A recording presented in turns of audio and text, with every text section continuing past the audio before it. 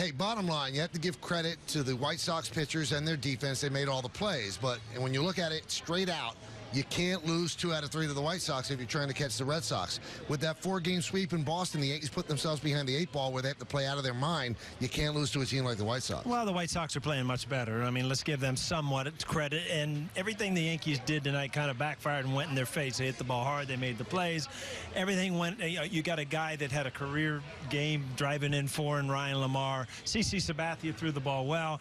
Bottom line is, every time they lose, you're going to try to second guess them because they can't. But they're having a phenomenal year. You got to turn the page, go on to the next four game series. And, and it's not like they did anything wrong. Again, uh, you, have got to win a lot of games, and the Red Sox don't seem to be losing a lot of games. So when you have an opportunity, and today wasn't one of those opportunities because the Red Sox won, now you're seven back, and there's 29 games remaining.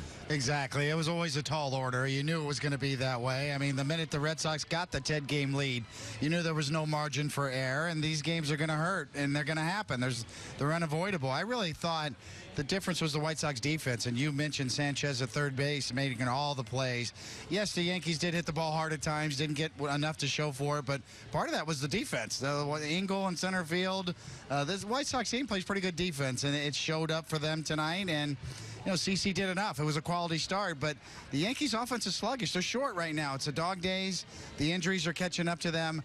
You've got the rookies who are batting eight, nine are now in the middle of the order, and that really tells you the story that the Yankees lineup is just they're just short right now because of all the injuries. And, and really one of the turning points of the game, and it's hard to be critical.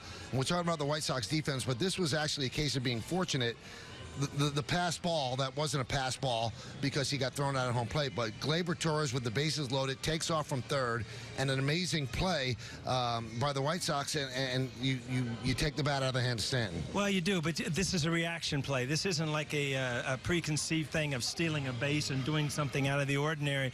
It just so happened that the, the ball ricocheted right back to Smith. He one hops the pitcher. He makes a sweep tie. Just everything went against the Yankees right there. That's a reaction play. In my mind, he'll score 99 times out of 100. It just, tonight, it didn't work.